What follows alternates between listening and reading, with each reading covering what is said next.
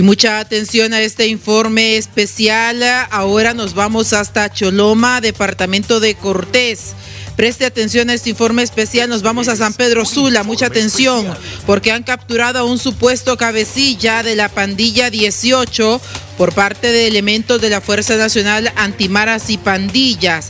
Este es identificado con el alias de El Negro y fue formado en las pandillas de El Salvador y actualmente era uno de los supuestos cabecillas de la pandilla 18 en el departamento de Lloro. Pero preste atención a este informe de último momento, informe especial.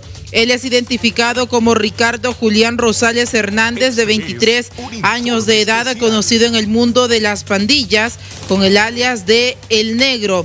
Aproximadamente 10 años de ser miembro activo de la estructura criminal denominada Pandilla 18.